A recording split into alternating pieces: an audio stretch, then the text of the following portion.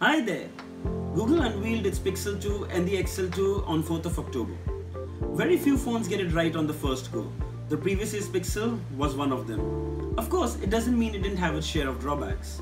In this video, we shall be discussing the good, the bad and the ugly of the Pixel 2. This is your friend Tech Singh. Let's get started.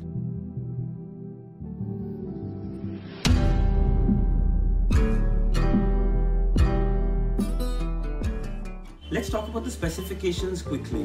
The Pixel 2 comes in a 5-inch OLED panel with a resolution of 1920 by 1080 and the XL2 is a 6-inch OLED panel with a resolution of 2880 by 1440. This is where the differences end. The Pixel 2 and the XL2 both have an 835 Qualcomm Snapdragon chipset, Adreno 540 GPU, 4GB RAM, 12 megapixel rear camera with f1.8 aperture, 8 megapixel front camera with 2.4 aperture, front facing stereo speakers, IP67 water and dust resistant, is available in 64 and 128 GB versions. The Pixel 2 is available in three colors, kinda blue, just black and clearly white. And the XL2 is available in two colors, just black and black and white. The last year's Pixel was not one of the best looking designs, so aren't the Pixels of this year. The bezels on the Pixel this year are an eyesore. It has a huge forehead and a huge chin, extremely disappointing. The XL2 is still an upgrade. The bezels are far lesser when compared to its predecessor, but lagging behind when compared to what the competition has to offer. The power button is orange. It makes the $800 flagship device look like a toy. What the hell are you thinking Google? In short, this doesn't look like a 2017 flagship device with a design like this. Okay, now let's talk about what's bad. No headphone jack. Can I hear Apple laughing? Well, even the Google Pixels don't have one now. But the Google did ape Apple by releasing their own version of the AirPods. I'm a fan of a 3.5mm audio jack. It's simple plug and play. I definitely will miss it. I'm quite sure that the Samsung Galaxy S9 also next year won't have an audio jack. Will they even have an S9 or would they also skip and go directly from the 8 to the 10 like Apple? Just a thought. No wireless charging. Google says that it's slow and not optimized yet. I wouldn't disagree, but it would be great to have that feature when you know that you have only USB-C to charge and no headphone jack for audio output. No dual camera. While most of the 2017 flagship devices are shipping with a dual camera. It helps create the bokeh blur effect. Pixel is doing the same along with software support with one camera. I'm sure the results will be stunning. Two cameras can potentially capture twice as much light than one. Low light photography also in a dual camera setup is far more better. The Pixel 2 is priced at 73,000 rupees for a 64GB variant and the XL2 is priced at 82,000 for a 64GB variant. Extremely exorbitant.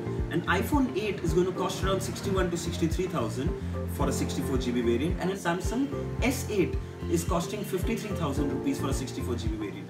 My god, where is Google pricing these devices? They're more expensive than the iPhone, they're more expensive than the S8. It'll be really hard to push an Apple fan or a Samsung fan to buy a Google phone with this price difference. Okay, finally, let's talk about the good things. The Google stock software experience is lag-free, smooth and flawless. No bloatwares. Pixels get their updates the fastest. Google is promising a minimum of 3 years of software support. There's nothing to lose here. Google Lens makes its debut in the XL and the XL2. Okay, so this is how it works. Show your camera a picture or poster and the assistant provides you with more details about it. It is still in beta, so it is something to still watch and look out for. Always on display. Well, this is not something new. We have been seeing this on the Samsung devices from the past 3-4 years, but now it lands on the Pixel 2. So now you can see your notification alerts on your screen with icons. If there is a song playing or music playing around you, it discreetly listens and shows the name on the screen. Front-facing stereo speakers are always a pro when it comes to sound quality. The speakers are the main reason why Google couldn't reduce the bezels on the top and bottom. It's a trade-off you have to do for better sound. Active Edge. This is sort of a gimmick I feel. You squeeze the phone to launch the Google Assistant. Well, it is not remappable right now, maybe later in a software update. It would be great if I could remap it to launch a camera quickly. Wouldn't you love it too? Well, now both the Pixels are IP67 water and dust resistant. Definitely an upgrade from its predecessors. The Pixels always excelled in the camera department. It took great pictures. The DxO Mark rating for the previous year's Pixel was 89, but this year's Pixels it's 98. Looking forward to check the camera experience. The Pixel camera has portrait mode, so it actually uses a single camera to map the depth of field with software and machine learning. So far the sample pics are very impressive. And yeah, the portrait mode is also available on the selfie camera. That's really good. Unlimited backup on Google Photos for Pixel users. Wow, that's wonderful. So now you can back up pictures on original resolution and videos up to 4K resolution absolutely free and unlimited on Google Photos for Pixel users, which I think is great. Apple is offering only 5 GB of iCloud storage for free. That is absolutely disgusting. Well done Google.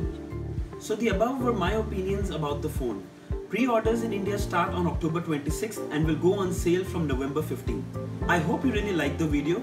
Write down in the comment section if you have a different opinion. Smash that like button, subscribe to my channel for more videos like this. Until next time, cheers.